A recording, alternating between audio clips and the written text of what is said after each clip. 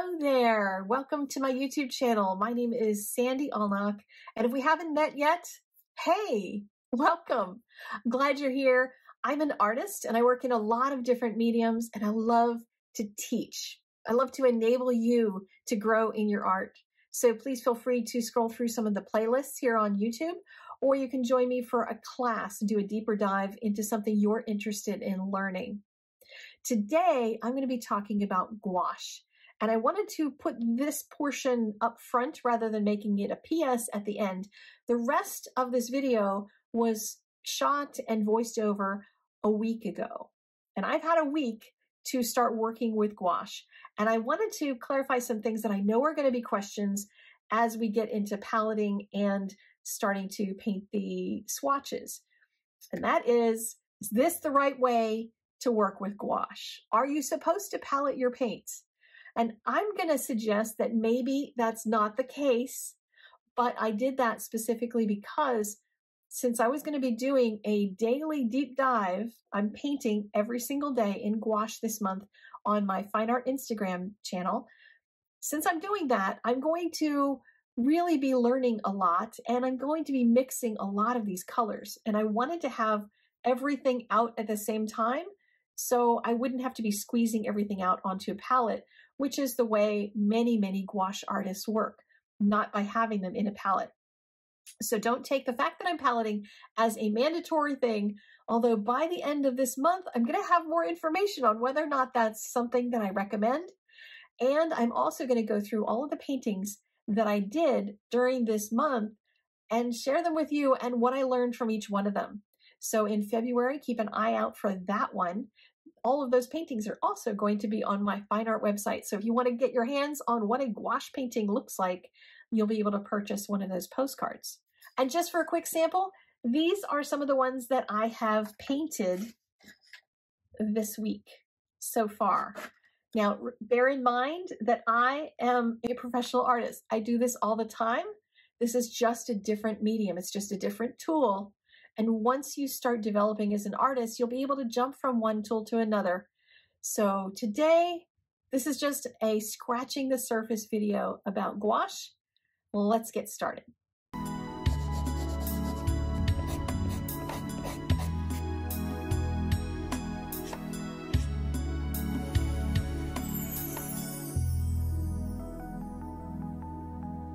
Have avoided gouache like the plague because I had it in my head that gouache is just like acrylic. I didn't know much about it. I didn't bother to look into it because I love watercolor. So why do I need gouache in my life, right? Well, the good people at Daniel Smith decided to challenge me and they sent me the full set. So I can't really resist trying them. And I'm doing something over on Instagram, on my fine art Instagram account, where I'm going to do a painting a day for the month of January. I'm going to see if I learn how to use these or not. I got this palette specifically because there was a YouTuber who did some really solid testing. She used a whole bunch of different airtight palettes to try to see which one worked best and which one kept the paints fresh longest. And this one won. I've seen it with a whole bunch of different names to it. There's all different kinds of companies, so I think the manufacturer just kind of whitelisted it, and there's a whole bunch of companies that then put it out. So first I'm going to fill the gouache palette.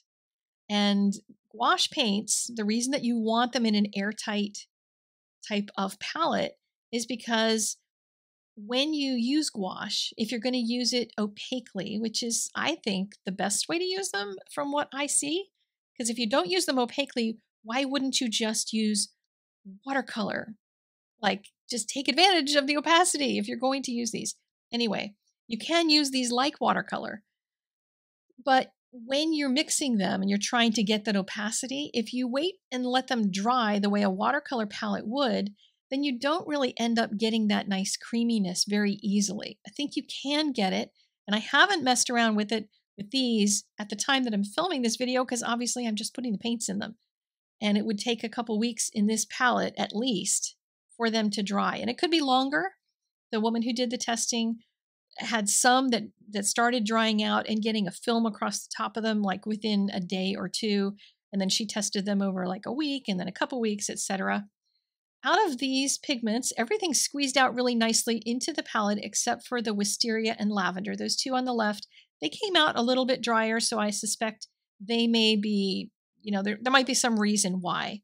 Um, and it could be a property of the pigment. I really have no idea, have not researched that. I'm just at the beginning of my gouache journey.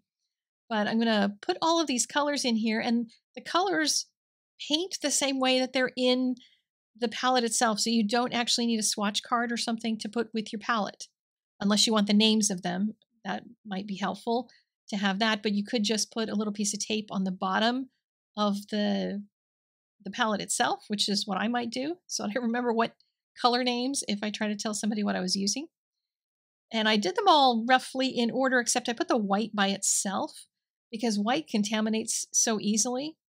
Uh, this particular palette seals, that little rubber thing seals it so that no paints will, if you turn it upside down, won't leak into each other. But I just like to keep it separate, like off to the side in any palette, whatever kind of white paint it is. If I ever had white paint in my palettes, it was always just seg- segregated so that nothing would get into it. So, in swatching these, the thing that I wanted to practice was the mixture and getting that creamy mixture because that's what all the videos say is that you need to get practice that creamy mixture and have the right amount of movement to it but also thick enough paint that it stays really opaque because otherwise it gets washy. Like i said you can use these as watercolor. They're made the same way daniel smith does the same kind of whatever they do with them the colors will match if you're using them with watercolors so you can use them together you can use just a little bit of some of these. If you like to paint white flowers and you want to use white gouache on top, you can do that. And I mean, lots of different possibilities for using them. If you saw the short that I posted yesterday, I will have a little snippet of that at the end. So you get to see the card that I made in that one using it with a stamp. Because when you use something opaquely, everything underneath disappears. So if you have a sketch underneath, then you'll need to resketch on top of whatever, if you paint a full background across something, and then you want to paint your image, your trees and your mountains opaquely on top, you have to redraw them or just draw them from memory or whatever, because opaque means you can't see anything under it. So there's all different techniques that you might consider if you want to use watercolor first so your pencil lines stay visible, your stamp lines stay visible, and then add more to it. I'm going to be experimenting in the coming months to see if I find that these are useful for stamping or not for the card makers among us. But I am going to be having fun. I've already been having fun creating some reels and still pictures and stuff for my challenge that I've given myself to do 31 days of painting with gouache. I saw somebody do this in in her shorts. She had just a whole bunch of shorts that she did, and I don't think I'm going to put them all here on YouTube, but I will do a kind of recap when I get to the end of the month and tell you what I've learned. I'll do another painting on on here on YouTube and talk about the process that I find that works best. Because I've just been experimenting so far. I've come out with some things that are quite nice. I'm pleased with them and that sort of thing. But uh, like I could paint the same things that I've painted so far in gouache. I could paint them in watercolor twice as fast and I'd get a very loose effect to them. So now I'm getting this very tight, very crisp kind of a look because I'm using more opacity. But, you know, I, I don't know what I'll end up doing with, with these and whether the month will convince me that I want to do a lot more with gouache. I really have no idea.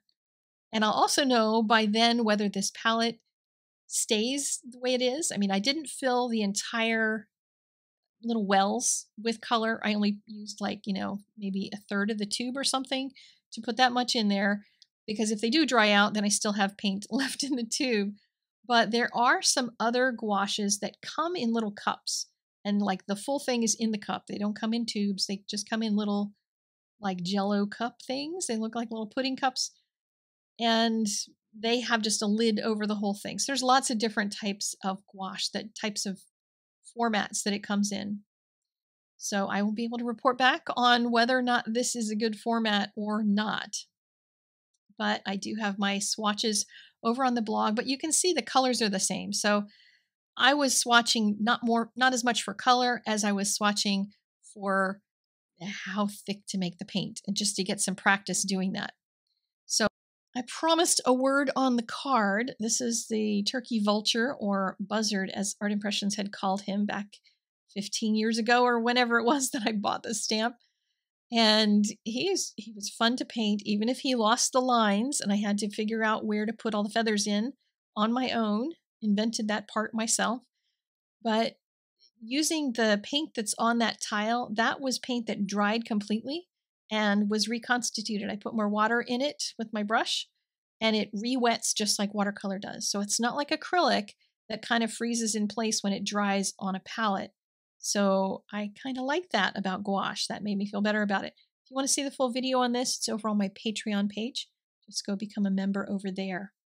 So the reason that I got this guy out at all was because there was a card made with this stamp set in the clean and simple design class in the old samples. So I pulled samples of my cards from 2013, 2012, like way long ago, and remade them, remade the designs, not using those stamps. So I didn't use him. This is not for that class. But I also wanted to say I have a controversial opinion in there in lesson one that you'll get to hear about about what actually is clean and simple. Can you use layers on a clean and simple card? My vote is yes.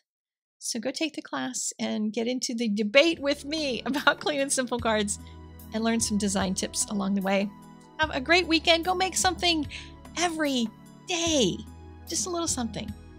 And I'll see you next week. Bye bye.